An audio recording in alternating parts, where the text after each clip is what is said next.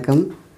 நிறைய அன்பர்கள் வந்து முக்கியமாக இதை கேட்டிருந்தாங்க. இந்த பதிவு போட சொல்லி. அது என்ன பதிவுன்னு கேட்டிங்கன்னா சாபம். நீ எங்கே போனாலும் வந்து இந்த சாபத்தினால தான் உனக்கு வந்து எதுவும் கிடைக்கிறதில்ல வேலை கிடைக்கிறதில்ல. ஒரு திருமண தடை இருக்குது ஏதோ சாபம் நம்மளை வந்து வாட்டி எடுக்குது. இப்போ நம்ம போய் எங்கே போய் பார்த்தாலும் ஏதாவது எங்கேயாவது ஒரு ரூபத்தில் பார்த்திங்கன்னா இந்த சாபம் தான் உங்களுக்கு காரணம். இல்லைன்னா கர்மா அப்படின்னு சொல்லுவாங்க. இப்போ நம்ம சாபத்தை பற்றி எடுத்துக்குவோம். இப்போ சாபம் அப்படின்னு எடுத்துக்கிட்டிங்கனாக்கா பார்த்தீங்கன்னாக்கா நான் வயிறு எரிஞ்சு சொல்கிறேன் நல்லா இருக்க மாட்டேன் அப்படின்னு சொல்கிறது ஒரு சாபம். இன்னொன்று பார்த்தீங்கன்னாக்கா ஒரு தொழில் போட்டிகளில் இருக்கக்கூடிய நிப்பா ஒரு பொறாமையில் சொல்கிற ஒரு சாபம். இந்த சாபம் அப்படின்னு பார்த்தீங்கன்னாக்கா அந்த சாம்பலாக்கிவிடும். அவ்வளோ சக்தி உண்டு அவ்வளோ நெருப்பு மாதிரி இந்த கந்திருஷ்டி எப்படியோ அதுமாரி பார்த்திங்கன்னா உங்களுக்கு வந்து சாபம். இது எங்கே போய் அஃபெக்ட் ஆகுன்னு கேட்டிங்கனாக்கா நம்மளோட சக்ராஸை வந்து அஃபெக்ட் ஆகிடும் இப்போ பார்த்திங்கன்னா ஒரு வேகமான ஒரு கார் போயிட்டுருக்கு. அதில் பார்த்தீங்கன்னா இந்த ஒயர் எங்கேயாவது ஷார்ட்டேஜ் ஆனிச்சுனாக்கா உங்களுக்கு வந்து பார்த்திங்கன்னா என்னென்னே கண்டுபிடிக்க முடியாது. ஆனால் கார் பார்த்திங்கன்னா ஏதோ வேலை வச்சுக்கிட்டே இருக்கும். ஸோ அப்போ மெக்கானிக் ஷெட் போயிட்டே இருக்கிற மாதிரி தான் நம்ம அடிக்கடி டாக்டர்ஸ்ட்ட போயிட்டுருப்போம் நமக்கு வேலை தடைகள் இருக்கும். இல்லைனாக்கா பார்த்திங்கன்னா டல்லாகவே உட்காந்துருப்போம் அடிக்கடி வயிறு வலிக்கும். பசிக்காது. இதேமாரி உடல் நோய்கள் ஏதோ கொடுக்கறது பார்த்திங்கன்னா சாபம். இந்த சாபம்னு பார்த்திங்கனாக்கா சாபம் அப்படின்னாலே பஷ்பமாக்கும் முறை. ஒரு மனிதனை அழிக்கும் அந்த சாபம். இந்த பத்தினி சாபம் வந்து ரொம்ப பவர்னு சொல்லுவாங்க. லேடிஸ் சாபம் விதவை சாபம் இப்படி நிறைய இருக்குது தெரிந்தோ தெரியாமலோ அறிந்தும் அறியாமலோ நம்ம ஏதோ ஒரு ரூபத்தில் யார்கிட்டையாவது ஒரு த- ஒரு இன்னல்கள் கொடுத்துருப்போம். அவங்க சபிச்சிருப்பாங்க. நம்ம எங்கேயாவது ரோட்டில் போயிட்டுருப்போம். ஏதாவது ஒரு அனிமல்ஸ் அடிச்சுட்டு போயிருப்போம். அதோட சாபம் இருக்கும். நம்ம கண்ணுக்கு தெரிஞ்சதும் இருக்கும் தெரியாமலும் இருக்கும். பகையும் இருக்கும் பகை இல்லாமல் இருக்கும். ஆக சாபம். இந்த சாபத்தை நீக்கிவிட்டால் நம்ம வந்து சுபமாக வாழ முடியும் என்பதே முன்னோர்களின் கருத்து. அதுக்கும் ஒரு மெத்தட் சொல்லியிருக்காங்க. ரொம்ப சிம்பிளான முத்த மெத்தட் தான்.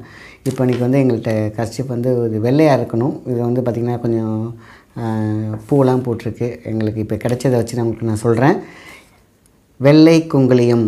இதை வந்து பார்த்திங்கன்னா கல்கண்டு மாதிரி இருக்குது இதை வந்து நம்ம கொஞ்சம் பவுடர் பண்ணி சும்மா ஜஸ்ட் ஒரு கல்கண்டு இருக்குல்லையா? சின்ன கிறிஸ்டல் கல்கண்டு. அது மாதிரி உடச்சிக்கலாம். இது உடைச்சாலே அது மட்டும் தான் ஆகும். இதை வந்து நம்ம இதை உடச்சி வச்சுக்கலாம். உடச்சி வச்சுட்டு அடுத்தது வந்து நம்ம இந்த இந்த கலர் குன்றிமணி நாட்டு மணியில் கிடைக்கும். அதை நம்ம வந்து உள்ளே வச்சுக்கோங்க. ஆ. இந்த மாதிரி சைஸில் உடைச்சிக்கலாம். இது இதுதான் இப்போ நம்ம உடைச்ச சைஸு இது வந்து வெள்ளை குங்குளியம். அதாவது பார்த்திங்கன்னா கருப்பு குங்குளியம் இருக்குது க கருப்பு குங்குளியம் வாங்கக்கூடாது. வெள்ளை குங்குளியம் வாங்கிக்கோங்க. இந்த மாதிரி உடச்சிங்கன்னா பவுட்ராகவும் ஆகிடலாம் பரவாயில்ல. இந்த மாதிரி கிறிஸ்டல் டைப்லேயும் நீங்கள் போட்டு வச்சுக்கிட்டு இதை இந்த இது பார்த்திங்கன்னா நம்ம வந்து குன்றிமணி. குன்றிமணி ஏன் அந்த குன்றிமணியில் வைக்கிறேன்னு கேட்டிங்கனாக்கா இந்த வயிறு. குன்றாத இந்த குன்றி குன்றி இருப்பது குன்மமாக கொடுக்கக்கூடியது. வயிற்றில் குன்மம்னா வயிற்று வலி அப்போ பார்த்தீங்கன்னா வயிறு எரிஞ்சு சொல்கிறேன் அப்படின்னா யார் ஒருவன் நம்மக்கிட்ட வயிறு எரிஞ்சு சொல்கிறாங்களோ அது பழிக்கும். சந்தோஷத்தில் இருக்கும்போது பழிக்கும் அந்த சாபம். அப்போ வயிறு தான் போய் குடிக்கும். வயிற்றில் இருக்கக்கூடிய சோலார் பிளெக்ஸ். இந்த சோலார் பிளெக்ஸ் தான் ஃபஸ்ட் அடி வாங்கும். இருக்கிறதுலையே நம்மளுடைய இத்தனை ஏழு சக்கரங்களில் டக்குன்னு ஃபியூஸ் ஆகக்கூடிய விஷயம் என்னென்னு கேட்டிங்கன்னா சோலார் பிளெக்ஸ் இதான் அடிக்கடி நம்ம வந்து யோகா மெத்தடில் நம்மளோட மெடிடேஷன் மெத்தட்லாம் சொல்லுவாங்க.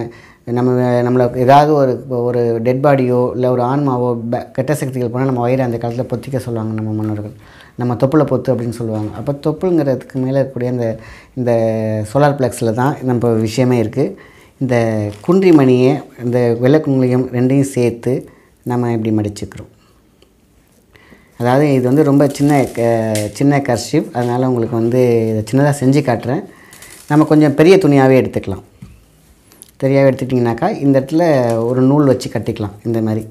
ஓகேங்களா? இல்லைன்னா இப்படி முறுக்கிடுங்க. பெரிய அப்போது வயிறில் இந்த கரெக்டாக தொப்புளில் வச்சு இப்படி கட்டிடணும். தொப்புள் தொப்புள் ஓட்டையில் வச்சு நம்ம இது பண்ணணும். இப்போ இதுதான் தொப்புள் அப்படிங்கன்னா நம்ம பாருங்கள் நின்று நின்று காட்டுறேன் உங்களுக்கு. இந்த தொப்புள். இப்போ பார்த்திங்கனாக்கா உங்களுக்கு வந்து இதை கீழே கொட்டாமல் நம்ம கட்டிடணும். இது தொப்புள் என்னவோ தொப்புளில் வச்சு இப்போ இறுக்கி கட்டிடணும். ஓகேங்களா? இப்படி கட்டிடணும். இப்போ இதை கட்டின பிறகு பார்த்திங்கனாக்கா ரொம்ப சிம்பிளாக இதை வந்து என்னைக்கு செய்யலாம் அப்படின்னு கேட்டிங்கனாக்கா ஞாயிற்றுக்கிழமை. ஞாயிற்றுக்கிழமை நம்ம காலையில் மதியம் மாலை எப்போனாலும் செய்யலாம். இதுமாதிரி வீட்டில் இறுக்கி கட்டிட்டு ஒரு ஒரு மணி நேரம் ரெண்டு மணி நேரம் வயிற்றில் இருக்கும்பொழுது இந்த சாபத்தை உறிஞ்சி எடுத்துரும். நான் நெகட்டிவ் வேவ்ஸாக தான் இருக்கும். இது என்ன மூலிகை சாரா? இது வந்து உறிஞ்சி எடுக்கிறதுக்குன்னு நம்ம யோசிக்க தோணும். ஆனால் வெள்ளை குங்குலியத்துக்கு ஒரு அற்புத சக்தி இந்த தீய சக்திகளை விரட்டும். சாபத்தை போக்கும் சக்தி. அந்த சக்கரால் இருக்கக்கூடிய அந்த கருமையத்தை விளக்கும் சக்தி இந்த வெள்ளை குங் குங்குலியத்துக்கு உண்டு. அதோட முக்கியமானது பார்த்திங்கன்னா இந்த வேற சிவப்பு குண்டுமணி. இந்த குண்டுமணியை வந்து பெரியவர்கள் அந்த காலம் முதல் இந்த காலம் வரை இதுக்கான மகத்துவமே வேறு. தீய சக்தியை ஒழிக்கிதுமா திருஷ்டியை ஒழிக்கணுமா சாபத்தை போக்கணும்னா இதுதான். அதனால தான் விநாயகர் கண்ணில் இதை வைப்பாங்க. இந்த திருஷ்டியை அட்ராக்ட் பண்ணணும்னு சொல்லிட்டு அவ்வளோ பவர் ஸோ அப்போ இதை வச்சு நம்ம வயிற்றில் கட்டிட்டு ஒரு மணி நேரம் இருக்கும் பொழுது அந்த சாப உபோச்சனம் நடக்கும். அது தீரும். ஸோ அந்த வேலை தீரும். இதை முடித்த பிறகு ஈவினிங்காக சாயந்தரமாக இதை வந்து ஒரு வயிற்றில் கட்டிட்டு இருந்தாலே போதும். அது லேடிஸாக இருக்கட்டும் அது ஜென்ஸாக இருக்கட்டும் எந்த வயசாக இருந்தாலும் இதை பண்ணலாம். வயிற்றில் வச்சு கட்டும் பொழுது அந்த சாபம் இந்த வயிறு வந்து பார்த்திங்கன்னா வயிறறிஞ்சு சொல்கிறேன் நீ நல்லா இருக்க மாட்டேன்ற ஒரு சாபம். இந்த வார்த்தை எல்லாமே பார்த்திங்கன்னா சோலார் ப்ளக்ஸில் தான் வந்து உட்காந்து அவங்கள டிஸ்டர்ப் பண்ணும். ஸோ அப்போ வந்து நீ வந்து இந்த வயிற்றில் கட்டுறதுனால சயின்டிஃபிக்கலாக அங்கே இருக்கக்கூடிய நெகட்டிவ் எனர்ஜி எரிக்கப்படும் அழிக்கப்படும். ஸோ அப்போ உங்களுடைய பாவங்கள் அந்த சாபங்கள் அந்த வார்த்தைக்கான அ- அந்த அகர அது கருப்பு மையம் இந்த இது தூக்கி எறிஞ்சிடும் ஸோ அப்போ ஃப்ரீ ஆயிடுறாங்களா? அப்போ இது ஒரு பரிகாரம். ஈவினிங்காக சாயந்தரமாக ஒரு அஞ்சு பேருக்கு இல்லைன்னா ஒரு ஆறு பேருக்கு. அவங்க கையாலேயே வீட்டிலேயே செஞ்ச தயிர் சாதம். அதை வந்து தாளிக்கக்கூடாது. தாளிக்காமல் வெறும் தயிர் சாதம் ஒரு அஞ்சு பேருக்கு நம்ம அன்னதானம் பண்ணிட்டோம்னா இந்த சாப விமோச்சனம் தீரும் என்று முன்னோர்கள் சொல்லியிருக்காங்க. ஸோ இது ரொம்ப சிறப்பான முறை சிறந்த முறை சிம்பிளான முறை. இதை செஞ்சிங்கன்னா ஹண்ட்ரட் பர்சன்ட் சாப விமோச்சனம் மக்களால் கிடைக்கப்பட்ட அந்த சாபம் தீரும்.